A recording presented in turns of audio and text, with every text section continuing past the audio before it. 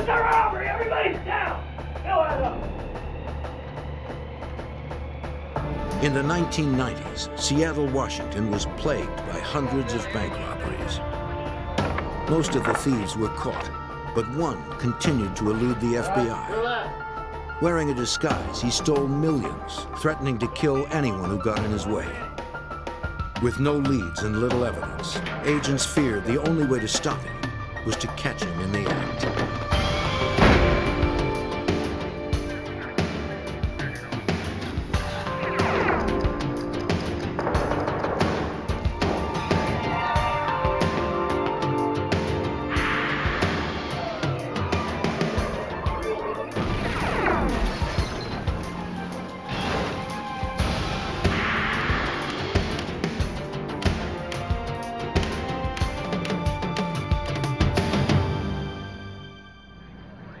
Every bank teller's worst fear is to stare down the barrel of a robber's gun. Banks use a variety of devices to discourage would-be robbers. Security cameras, silent alarms, and exploding dye packs. But when an elusive bank robber targeted Seattle's banks, none of these precautions were effective. I'm Jim Kallstrom, former head of the FBI's New York office. It would take cunning, precision, and patience to capture a master of disguise.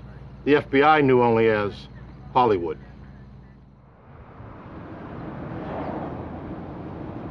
Seattle, Washington, 1992.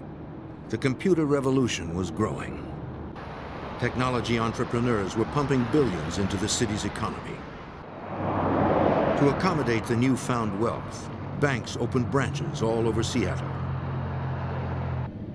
But neighborhood convenience also meant more opportunity for theft.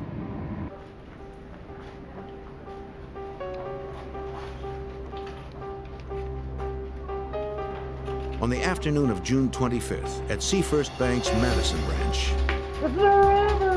two masked gunmen threatened to shoot anyone who did not comply with their demands. Anybody man?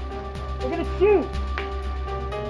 One trained his gun on the frightened customers, while the other forced a teller to empty her cash drawer.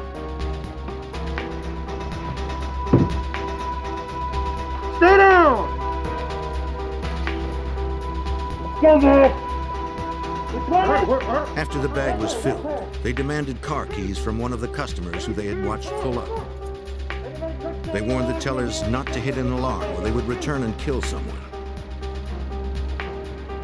The two sped away with nearly $20,000. Since the bank's deposits were insured by the federal government, the FBI was called in to assist the Seattle police. One in front and one in the back.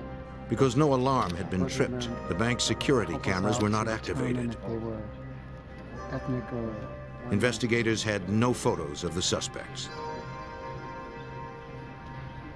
Customers and bank employees described the gunman as being of medium height and build. One employee heard the man holding the cash call to his partner using the name Mark. The guy came to that door. The robbers had worn gloves so no fingerprints could be obtained. Investigators attempted to lift shoe prints from the desk where one of them had stood.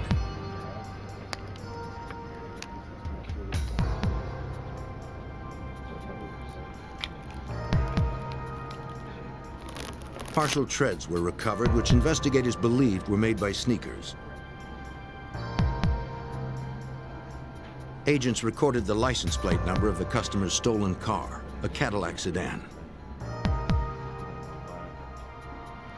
Hours later, the stolen Cadillac was discovered abandoned in a neighborhood close to the bank.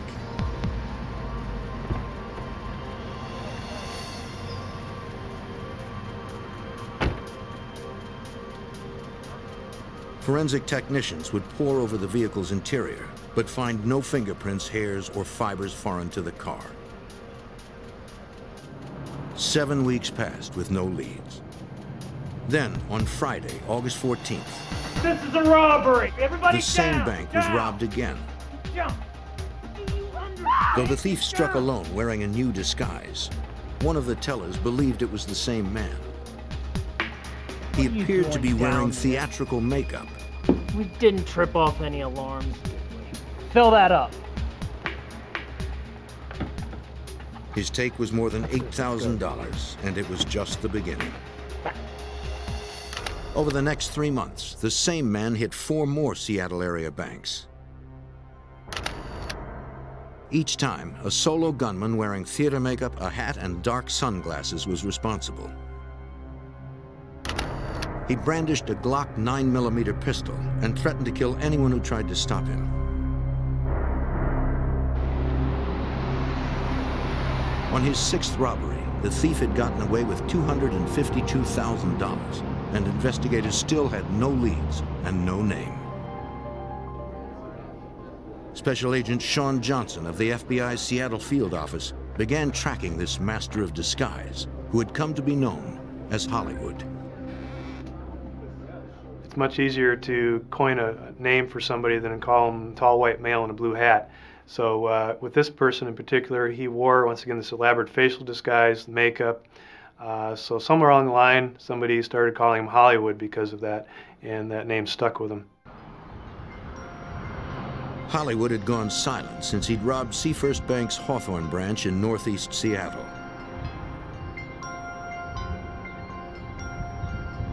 His take from that location exceeded a quarter of a million dollars.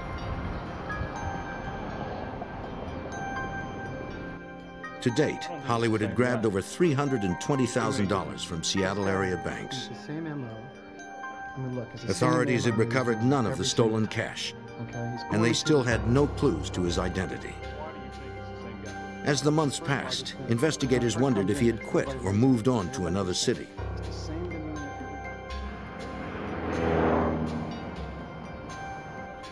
Then, on November 24th, 1993, just over a year since his last heist, Hollywood struck again. Brandishing his trademark Glock pistol, Hollywood herded the customers together. Don't move. Money on.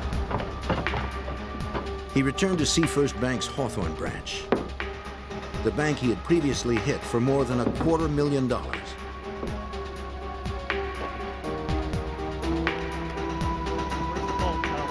He asked for the reserve cash.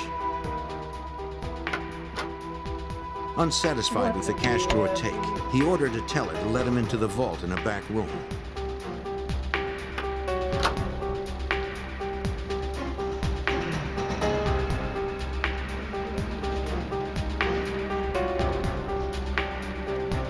Hollywood emerged with nearly $100,000.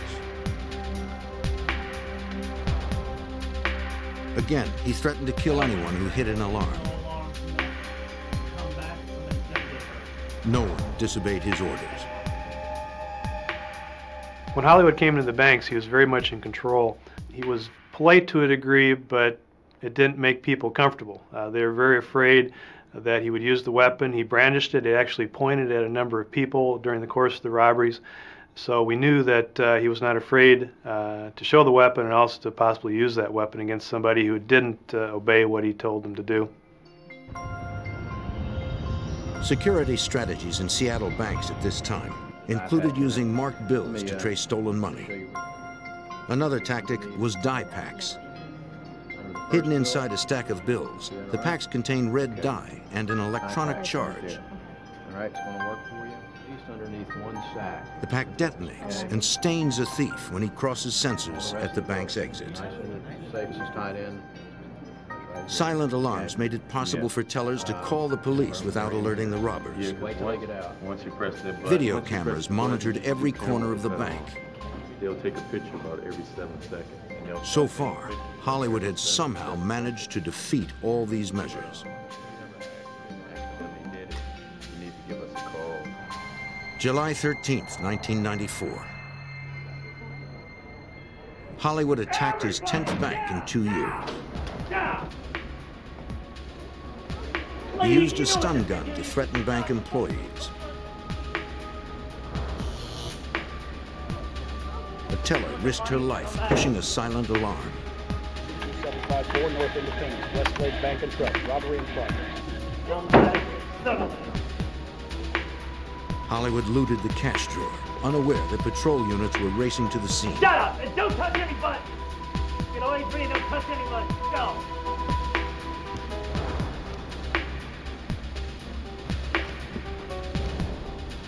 All right, good.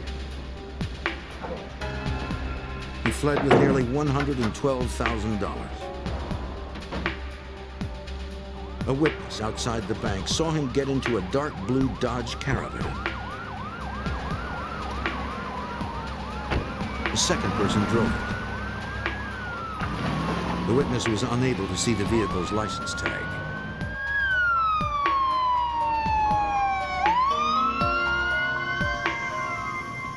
After police secured the scene, another bank employee arrived for work. Oh, very good, thank you. Uh, just, just tell me what you saw. He told police about an incident on the previous day. The employee noticed a man taking notes in front of the bank, standing next to a blue Dodge Caravan.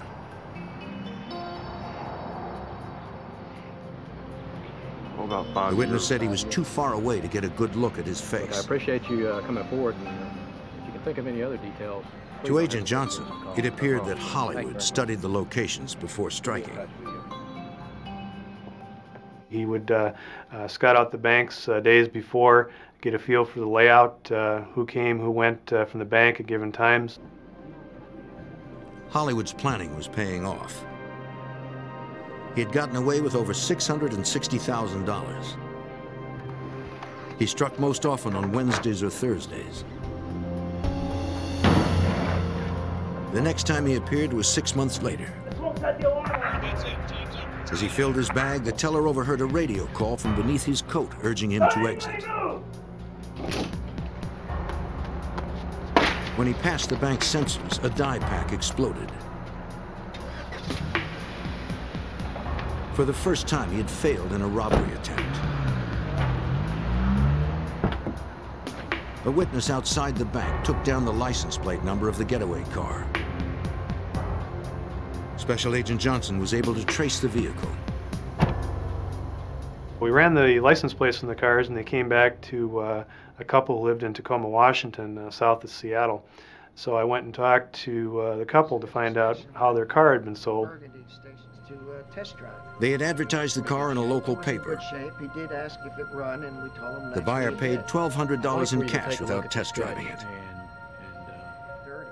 The couple described the buyer as a white male in his late 30s or early 40s, of medium height and weight. Based on their description, a sketch artist created a likeness of the suspect. Gee, I think that looks a lot. The FBI now had their first glimpse of what Hollywood might look like.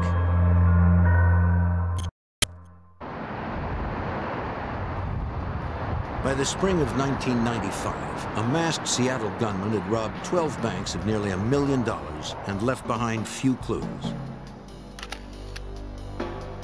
Investigators dubbed him Hollywood for his use of disguises and theatrical makeup.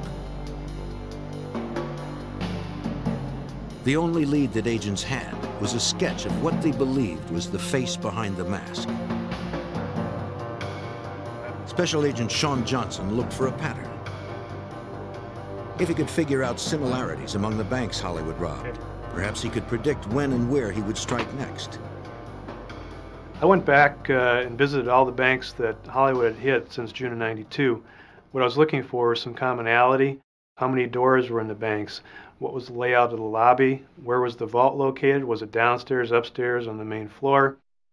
What was the size of the parking lot? Was it adjacent to the bank? Was it across the street? Uh, what kind of street was this bank located on? Johnson discovered that most of the banks were in commercial districts where area businesses made their deposits. The banks also bordered residential areas. This enabled Hollywood to blend into the surrounding neighborhood without arousing suspicion. He liked uh, three areas of the city primarily uh, the northeast part of town, Madison Park, which was just outside of downtown, and West Seattle. So, uh, once again, looking at the types of banks he hit, the branches uh, themselves, and areas of the city, we came up with a uh, pattern of uh, likely targets. In March of 1995, three years after Hollywood's initial heist, the Puget Sound Violent Crimes Task Force was formed. Staffed with investigators from five different agencies, they had one goal in mind. To take Hollywood off the streets. Hollywood struck most often around noon and almost always on the last three days of the work week. Four of his past five robberies occurred in late January or early February. Agents calculated that Hollywood appeared to be going through about $20,000 a month. Detective Mike McGann joined the task force in June of 1995. McGann knew the streets and had many bank robbery collars to his credit. It was my belief that at least 95% of the people that I arrested were narcotics users. The other 5% I believe to be gamblers, thrill seekers, professionals, or people that were uh, working out of sheer desperation. Where I'd classify Hollywood was that he was uh, a well trained, well disciplined professional. McGann pored over the security camera photos of Hollywood. He noted the weapons he brandished were a 9mm Glock and a stun gun. At the time, these arms were being considered as weapons of choice among law enforcement. The detective also noticed that Hollywood indexed his trigger finger on the side of the 9mm, a technique taught to police officers. Many of the robberies occurred in the late morning, between 11 a.m. and noon, precisely the time when a shift change for the Seattle police occurred. The evidence pointed to a frightening possibility. Hollywood might be a cop. And the reason I, I thought he was a police officer is he knew so much about how we operated, that he was probably watching us or listening to us. Uh, he had, he was disciplined. He uh, was in and out of the banks quickly. He moved swiftly. He, just knew a lot about the, the policy procedures of the bank. He knew that the the areas that he was hitting in were primarily uh, you know, residential areas that don't have much police presence in them. Then something else caught his eye. He noticed that Hollywood was wearing a radio on his belt. If Hollywood was communicating with a walkie, perhaps police could intercept the transmission. The detective contacted an electronics expert known as the Glitch. With his help, McGann hoped to gain an advantage. Rectangle, gray, brown, right. I had sat down with this person and showed him the uh, sur surveillance photographs of Hollywood and the two-way radio he had, and he was able to determine the frequency most common to those radios that he would work off, and it was two different frequencies. The glitch offered to rig up a scanner in McGann's unmarked car. By eavesdropping on Hollywood, investigators hoped they could pinpoint his whereabouts and catch him in the act. The idea didn't work. Special Agent Johnson was stationed outside a bank in northeast Seattle, monitoring the radio when Hollywood and an accomplice struck elsewhere. It's about 11:30. Uh, I was going to break off about uh, 12 o'clock, and all of a sudden I heard the Seattle Police radio saying we've had a bank robbery, First Interstate Bank, and that was about two miles from my location. I heard the physical description. I knew at that point it was Hollywood, and he had come back on one of those three days I predicted a year before, and we just missed him. A bystander outside the bank got the license number. Like his first robbery, the getaway car was found in a neighborhood near the bank. The FBI traced the car back to its owner, who said he had sold it to a man for cash a few weeks earlier. I had the uh, owner come up and look at the vehicle, and I said, is there anything different about this car? from when he sold it. And he says, sure. Overall condition of your uh, engine compartment here, is anything... The owner noticed the car had a new battery. Certainly different here. You notice any difference? I was about to say. Agents found that the car had been wiped down inside and out. The owner also noticed that two of the tires had been replaced with newer ones. So I went to trace the, the tires, found out they'd been bought uh, in Tacoma, Washington. The battery was bought at a Sears store in Tacoma about two days after the car was purchased. So I knew at that point that uh, these people, whether it was Hollywood and or his partners, were uh, in the area at least two months before the robberies. Working with a sketch artist, the owner described the buyer. Investigators now had two composite sketches, but they were still no closer to catching Hollywood. Supervisory Special Agent Ellen Glasser was brought in to head the task force. She made the decision to go on the offensive. It's one thing to put pen to paper and to put your thought processes at work and try to solve a case. It's another when you take a proactive posture in an investigation, knowing that you might get into a confrontation with somebody like Hollywood. The supervisor realized that a more aggressive stance would place her agents in greater peril. Hollywood had repeatedly threatened to kill anyone who tried to stop him. We knew he had a propensity for violence and figured that if he was going to these elaborate means to uh, disguise himself to plan the robberies, that he probably would not uh, necessarily give up easily as most others did. And we were concerned about uh, safety of law enforcement and safety of customers and employees of the banks. Okay, he's taking a lot of More care with personnel were assigned to specific areas of the Uh, city, very much so. targeting the Uh, banks hit most often by takes Hollywood. time to sanitize the vehicle, so- so certainly, uh, So he came up with a game plan saying, okay, we're going to be out on the streets on Wednesdays, Thursdays, and Fridays between these periods of time, uh, knowing full well that uh, uh, greed would probably take the better part of Hollywood and he would come back and rob another bank, even with the amount of money he'd already taken. On May 22, 1996, despite the increased presence of law enforcement, Hollywood hit the first interstate bank in the affluent suburb of Madison Park. It was his 14th known robbery. To generate leads, agents reached out to the community. We increased the reward to $50,000 that we were offering in the community for tips. We didn't want to have the media work against us. Now, we didn't want to glamorize Hollywood and, and cause copycat bank robbers to, to go out and, and rob banks. But we also felt that we needed the public. Agents saturated Madison Park with hundreds of wanted flyers.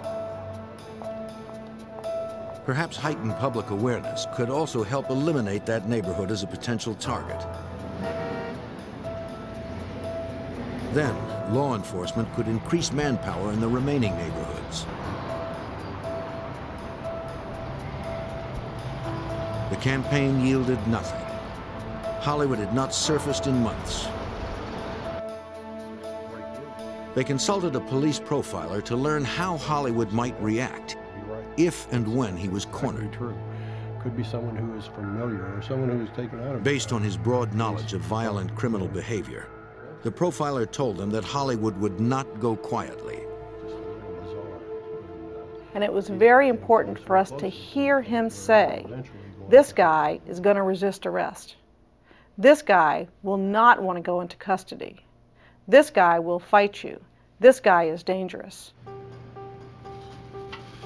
Authorities could only guess when and where Hollywood would strike next, and if his gun would remain silent. For almost four years, Hollywood had threatened to shoot anyone who got in his way. Agents were convinced that if he was challenged, the masked gunman would shoot to kill. By 1996, a masked gunman known only as Hollywood had robbed 14 Seattle banks. trip off any alarms. He threatened to kill dozens of people for his take of $1.2 million over four years. Though Hollywood had not fired his weapon, agents believed that if confronted, he would kill. Supervisory Special Agent Ellen Glasser showed the task force a videotape of what could happen if they were not prepared. We have been using for training in the FBI a video of the tragic firefight that took place in 1986 in Miami where we lost two of our agents and several other agents were wounded. What they were doing that day is they were on a surveillance for two dangerous bank robbery suspects. So there were some obvious parallels to what we were doing. On April 11, 1986, the FBI confronted two armed bank robbers in Miami. A shootout erupted. The gunmen advanced while the agents were reloading their revolvers, killing two of them and seriously wounding five others. That Miami shootout was a reminder of how high the stakes were. We can't always be 100% prepared, but we should be thinking have a plan. All right, come on. Set. Moving. To avoid repeating the tragedy that occurred in Miami, Glasser developed more uniform procedures between the various agencies. The Seattle SWAT team trained alongside Special Agent Johnson. We did extensive training with them, uh, firearms training, uh, felony car stops, uh, how to take people out of cars, uh, different situations and how we'd respond to a bank robbery that Hollywood had committed. Uh, and that was all done under uh, Ellen Glasser's supervision. And her number one concern, of course, was the safety of all the people involved. Yes. FBI, get out, get out, get out! Detective McGann knew they needed to make sure all personnel were on the same page. It also gave us a chance to test our communications because the FBI doesn't work off uh, police communications, they had their own. So what we had to do is, is get everybody on board on the same radio frequency. To prevent the danger of friendly fire, all personnel were required to wear clothing with emblazoned logos. It looked really good otherwise, but you had your head up just a little too long. As Thanksgiving approached, Glasser believed they were as prepared as they could be. 360 is all around. It's not just. Well, that Wednesday, that day before Thanksgiving in 1996, it started out just like any other day. I went to work thinking I was going to catch up on some of my overdue paperwork, thinking that I was looking forward to the holiday the next day, having a day off, the banks would be closed, and thinking that people needed a rest because they had been working so hard Agent Glasser, Detective McGann, and Detective Pete Erickson were the last ones in the office when an alert tone came over the radio at 541. And upon hearing that, I knew that it was Hollywood that had hit.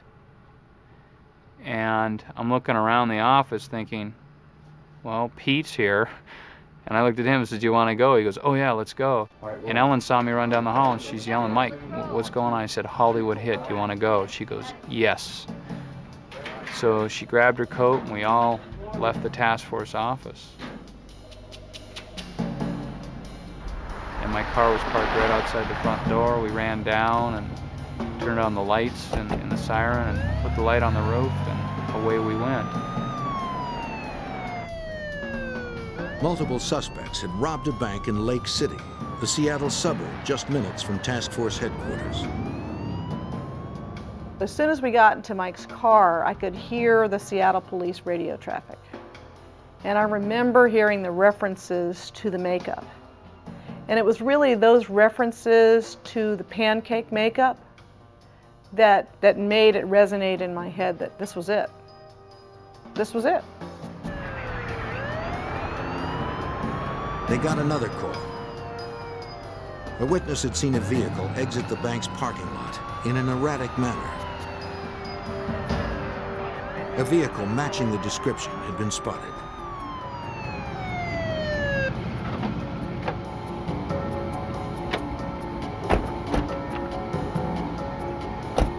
Police believed they had found the getaway car.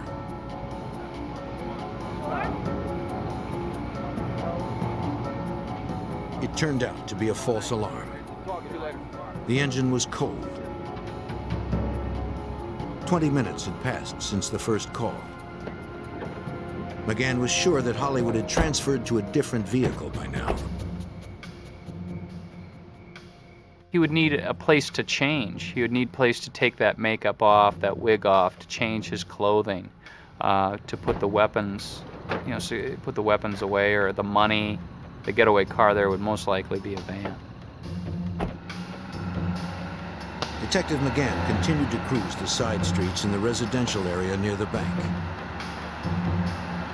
From past robberies, McGann and Agent Glasser knew this was where he would most likely change vehicles. Some units were responding to one location, and Mike was saying, that's not him, that's not him. He'd patrolled in these streets, he'd grown up in Seattle, he knew every nook and cranny of the town in that area. After several minutes of crisscrossing the main roads, they pulled up behind a white van.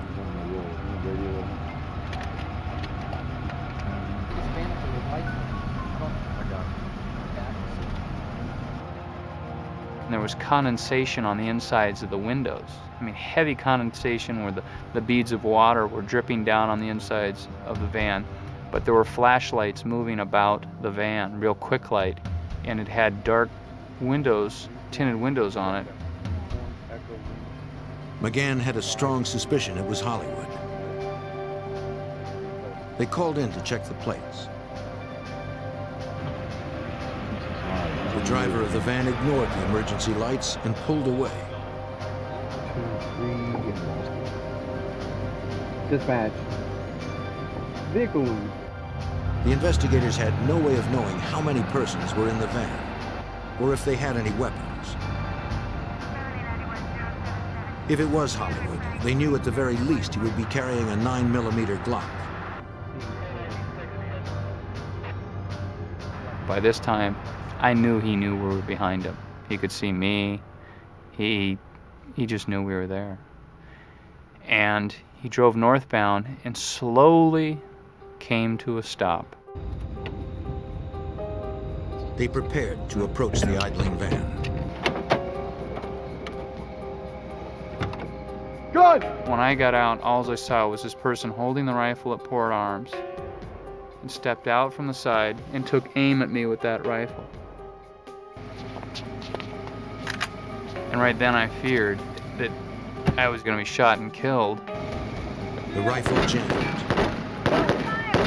McGann fired into the rear of the van The chase had turned into a firefight. On the night before Thanksgiving 1996, three investigators had just fired at a fleeing van after its driver had attempted to shoot them with a rifle. They believe the van held a man known only as Hollywood, an elusive bank robber. Special Agent Sean Johnson responded to the call for backup my pager went off. I looked at it and knew immediately there had been a bank robbery. Uh, I called the office and was told that uh, uh, Hollywood, uh, based on the description that they had gotten, Hollywood had just robbed a bank, Seafirst Bank, uh, Lake City branch in the north part of town. Still several miles away, Johnson raced to the location.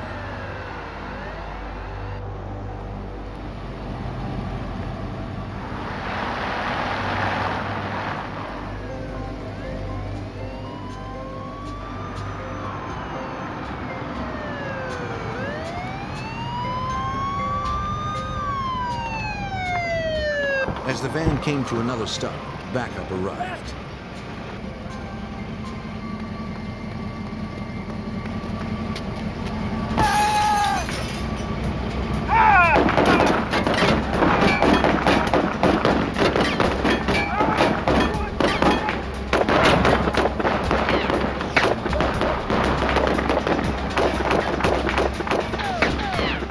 Ducked back into the van and the chase resumed. Special Agent Glasser felt it was a miracle the three of them had survived unharmed. I think that's partially by the grace of God because these, these rounds were found in the windshield of the car that was behind us, so they went right over us. They continued to pursue the unidentified gunman through the residential neighborhood. The agent updated their new position for approaching units.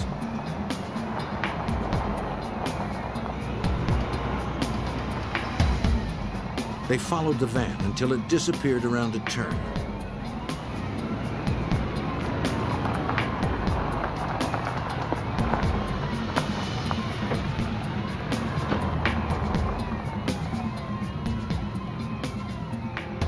Fearful he might be driving into an ambush, McGann got out and continued the pursuit on foot.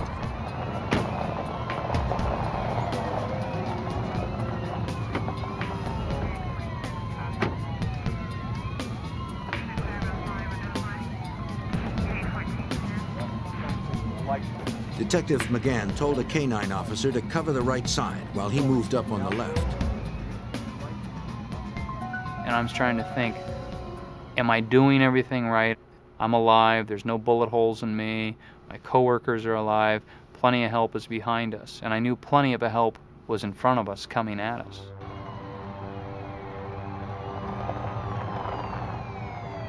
Up ahead, they could see the lights from an approaching Seattle police cruiser. It intercepted the van, forcing it off the road.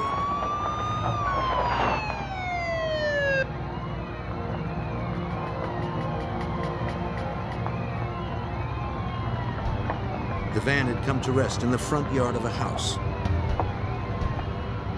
Investigators still had no idea how many were in the vehicle. Right. Out of the van. Keep your hands where we can see them. Right. Doors are open. The side doors burst Doors open, Go, go. but no one Go. came out. Cover me. Out of the van. Keep your hands out where we can see them. Keep your hands out. Two men, badly wounded, were pulled from the van. Lord, keep your hands out. One suspect had taken three rounds. Hands on your back. The bullets had penetrated his left shoulder, thigh, and stomach. The other had been hit in his right shoulder. When I looked down at him and said, What's your name? And he said, Steve. I said, Steve what? And he said, Steve Myers. And I said, Are you Hollywood? And he says, No. The other suspect was taller and heavier than the gunman from the security camera photos. Police believed he was not Hollywood either. The detective turned his attention to the van, but no one else was inside. And I'm thinking, Where's the third suspect? You're saying the suspect got out. Are you positive? And they're saying, Yes, he got out when he saw us. He took off. So I'm thinking, Oh my God. Investigators quickly organized a search, both on the ground and in the air. A third suspect, probably Hollywood, was on the run. Police believed he was armed. They did not know how far he could get if he was wounded. As the search continued, a forensics team processed the van. And in the back of the van, there was a guitar case that had been converted into a gun carrying case and a blue nylon bag that, that had money in it. And it was a, a big bag of money. The robbers had left behind more than a million dollars. They also found pieces of a latex mask, most likely belonging to Hollywood. Scattered around the blood-soaked interior, investigators found an assault rifle, a semi-automatic shotgun, two pistols, and several boxes of ammunition.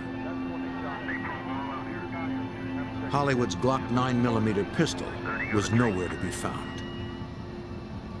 Could have taken hostage in a house, yeah. I that did cross my mind that you know maybe he ran into a house and was holding a family hostage and would hold them until you know the early hours of the morning or traffic until traffic died out or he could be watching us. He could be one of us. Wherever he was and whoever he was, Hollywood had eluded the FBI once more. After four years of pursuit, the masked bank robber known as Hollywood had eluded capture again following his 15th known bank robbery. But two of his accomplices had been taken into custody. One was identified as Mark Biggins. Biggins had been Hollywood's accomplice in three of the robberies, including their first. He wore the Reagan mask. The other accomplice was Steve Myers, the man who drove Hollywood's getaway cars. Special Agent Johnson pressed Myers for Hollywood's real name. You need to tell me uh, who this person is, where he is. Uh, and he finally said, okay, I'll tell you. Uh, the person you're looking for is uh, Scott Scurlock. Scott Scurlock wasn't a police officer. He was a local actor agents moved in on his 20-acre ranch in Olympia, Washington, an hour south of Seattle.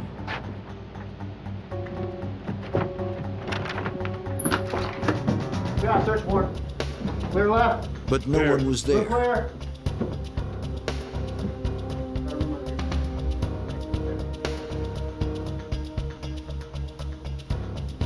Investigators found a semi-automatic 9mm Glock. Okay. Secured up. And our nines. Check it out. Agents recovered $23,000 in cash.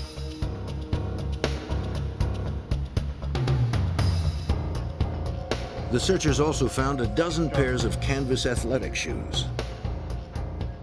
The same kind that Hollywood was reported to have worn in several robberies. Let me check over here. Behind the house, agents approached a barn. All right, clear left. We're clear. Inside, they found tools, building materials, and equipment. On the dusty floor, one of the agents noticed some footprints that led to a trap door.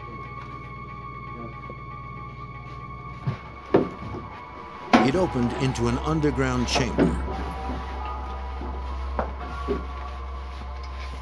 See a light switch anywhere? Right here. Agents had no way of knowing if Hollywood was hiding there with a gun.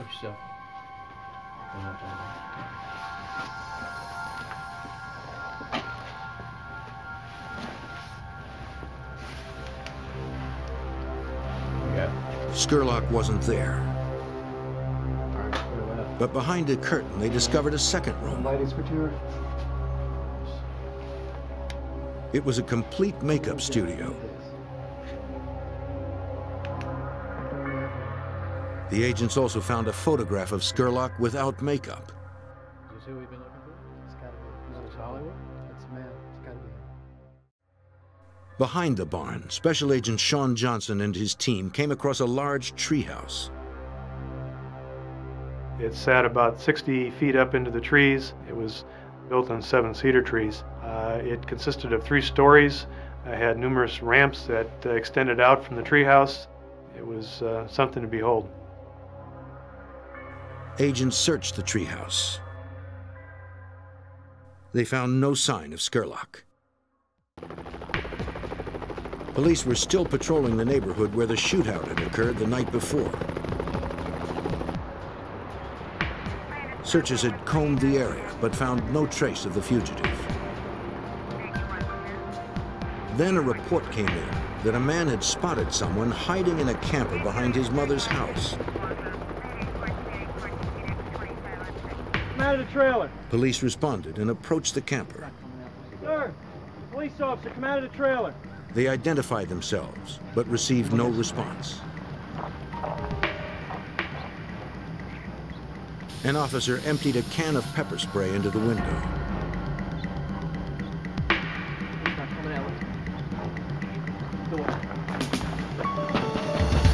Police, come out of the trailer.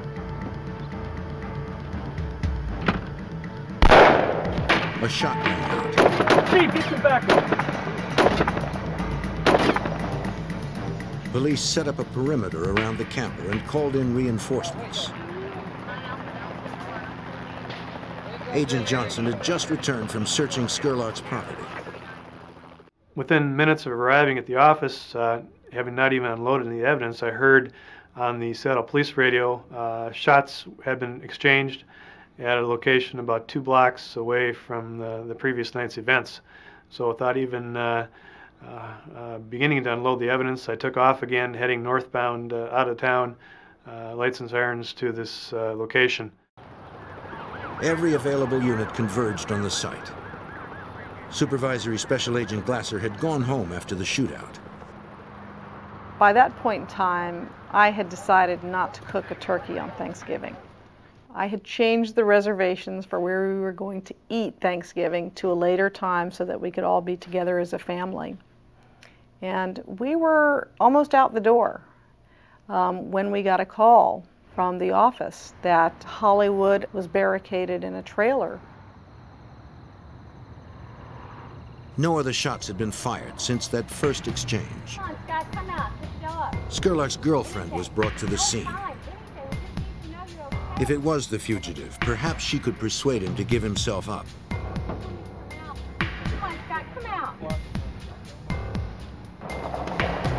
There was no response.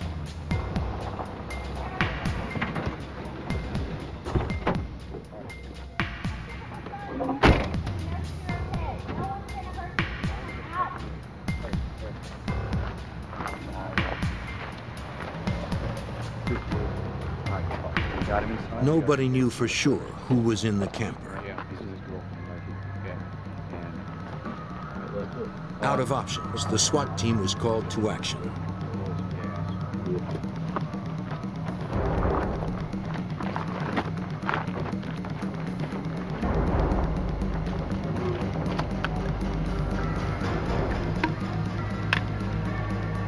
Hoping to flush out the suspect, they fired two rounds of tear gas into his refuge. They heard nothing.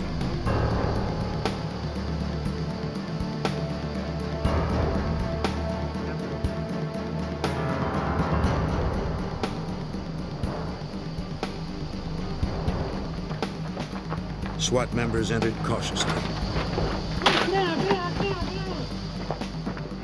Initial radio communication from the SWAT team said there's lots of blood, uh, but we see no body. And uh, my first reaction to that was, is this guy a ghost or what? How can there be no body? And then just seconds later, they say, we've, we've got a body. Through the smoke, a white male could be seen lying lifeless on the floor. A gun near his head.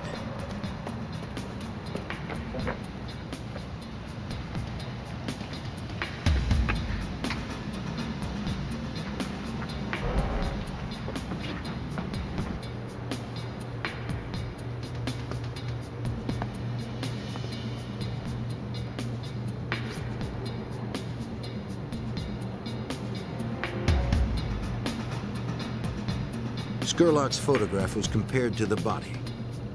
It matched. The coroner later determined that his death had been self-inflicted. Mark Biggins recovered from his wounds. He and Steve Myers pled guilty to bank robbery, assault on a federal officer, and firearms violations. They were sentenced to 21 years in a federal prison. Scott Scurlock had hidden behind a mask for four and a half years. But when the FBI struck back, the man they called Hollywood found there was no place left to hide.